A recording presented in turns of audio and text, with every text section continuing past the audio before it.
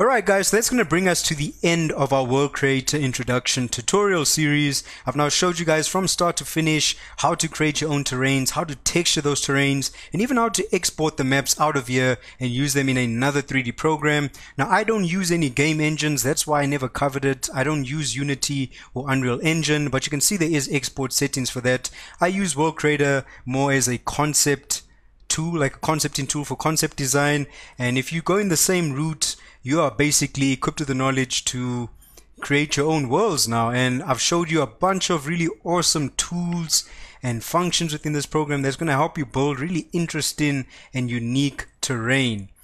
Alright, so remember the learning doesn't stop now guys. I want you to maybe roll back to some previous videos if you forgot some techniques rewatch those videos, see the different tools that I'm using, and just try and create a bunch of different uh, terrains. Maybe try and create 10 unique terrains, texture them as well, and then export them, render them, create some narrative or some scenes, put it and put them together. And feel free to even show me what you guys come up with. I'd love to see what you guys uh, end up doing with this program because I hope you guys enjoy it as much as I do. I completely love World Creator. It's now my final solution for creating terrain and you can see just how powerful and easy it is to create just a bunch of really interesting uh, terrain and landscapes for your 3D scenes.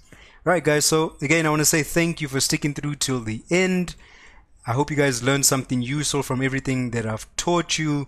Feel free to get in contact with me if you have any questions and stay tuned for some more videos and tutorials. But one more thing, if you guys want to actually see how I put this image together, right? This is this is where I'm talking about using World Creator as a concept designing tool.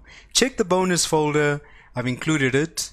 And now obviously the bonus folder is only going to be available to people who actually got the Gumroad package of my World Creator Introduction tutorial series. So if you want to see how I put this image together, it's going to be a breakdown not a from start to finish. I'll be showing you the terrain I've used, lighting I've set up, and just some other tips and tricks. I'll show you how I put this image together. Alright, so that's also just another way if you guys want to support the series, you can go ahead, head over to Gumroad, get, get access to this, or if you already have this package from Gumroad, you're going to be watching this tutorial soon, or at least I hope so, and I'd love to see what you guys uh, come up with.